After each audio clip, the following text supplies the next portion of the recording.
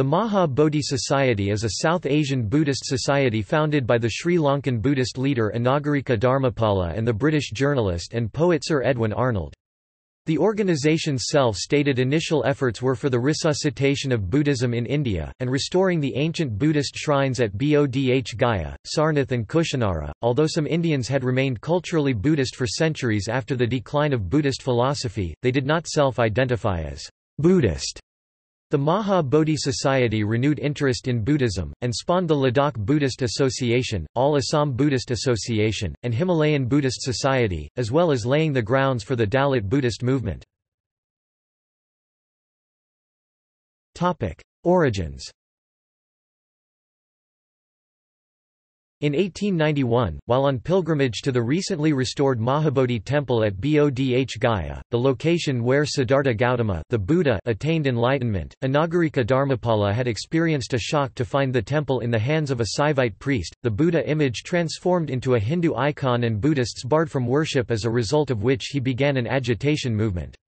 Prior to that, in 1885 Sir Edwin Arnold visited the site and published several articles drawing the attention of the Buddhists to the deplorable conditions of Buddhagaya.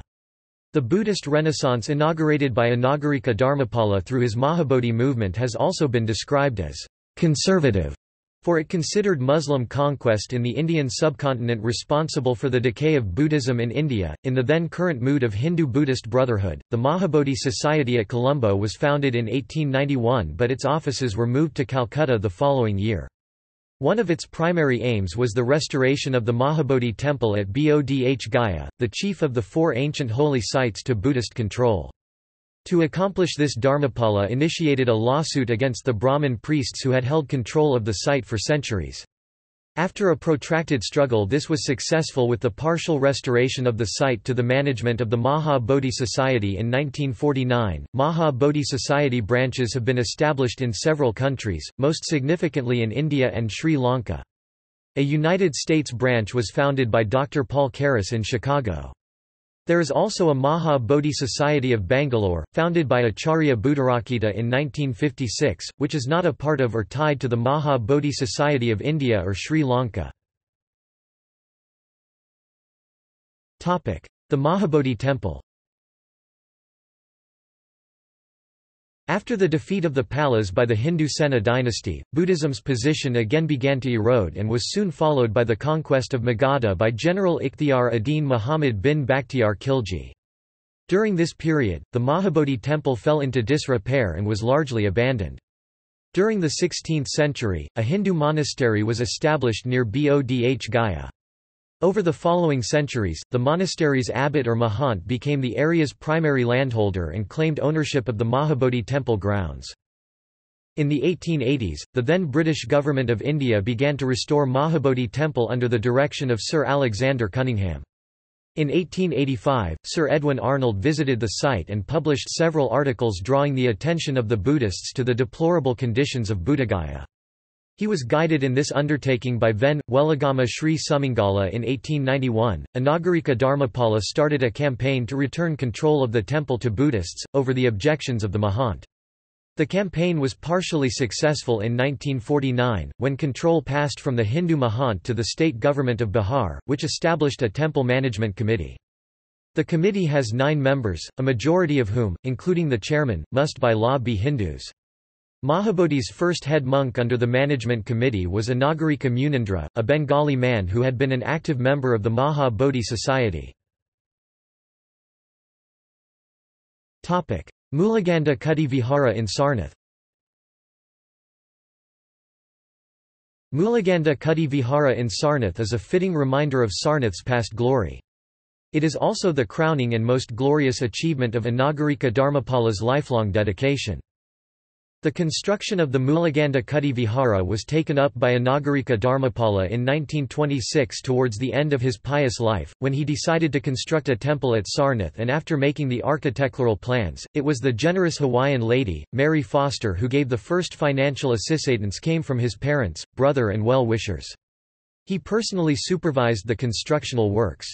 The 200 feet high magnificent temple was opened to public in 1931. Later a reputed Japanese artist Mr. Kosetsu Nosu and his assistant undertook the task to decorate the temple walls with fresco paintings known famously as the mural paintings of Mulagandha Kuti Vihara, depicting the life events of Sakyamuni Buddha. On the opening day of the vihara, the Buddha's relics donated to Anagarika Dharmapala by Govt. of India under the British Raj was enshrined in the temple.